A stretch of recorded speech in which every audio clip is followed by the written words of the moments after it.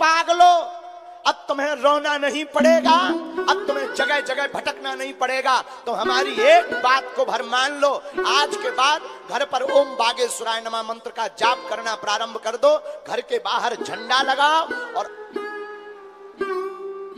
हमारे नाम से, मिलने के नाम से किसी भी प्रकार का शुल्क फ़ीस दक्षिणा ना दें। दरबार निशुल्क था, है, और जब तक इस तन में प्राण रहेंगे, तब तक बागेश्वर धाम का दरबार निशुल्क रहेगा। और इन बातों में भी मत पड़ा करो कि गुरुजी वीआईपी लोगों से मिले। अभी एक जने छाप रहे थे गुरुजी वीआईपी लोगों से। देखो, कथा यजमान से मिलना हमारी मजबूरी है, लेकिन दरबार तो सबके लिए ही।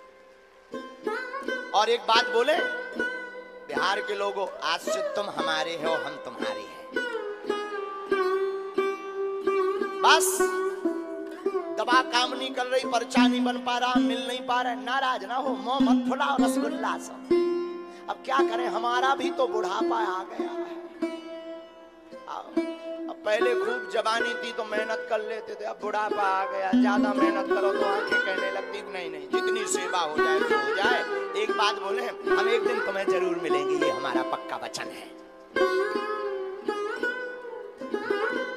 जो जहाँ खड़े हैं बैठ जाओ। अगर दरबार देखो, आप लोग नहीं बैठ रहे, तुम लोग बहुत खतरनाक आदमी हो। बैठ जाओ।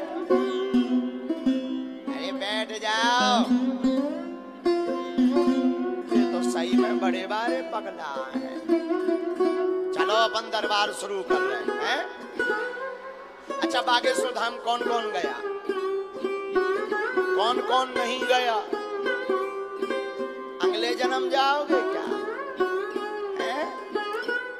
नेक्स्ट बर्न जब नेक्स्ट बर्न होगा, तब जाओगे क्या? अभी एक बात बताएँ, बागेश्वर धाम भारत में हिंदुओं के लिए गौरव का दरबार है। जहाँ अर्जी निशुल्क रुकना निशुल्क दोनों तरफ़ से मंदिरों का निर्माण नहीं, हर साल महाशिवरात्रि को गरीब बेटियों का विवाह करवाया जाता है।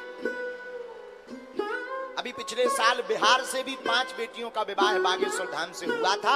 अब पुनः 8 मार्च 2024 को एक सौ इक्यावन बेटियों का विवाह करवाया जाएगा। रुको हर बेटी को एक एक मोटरसाइकिल भी दी जाएगी।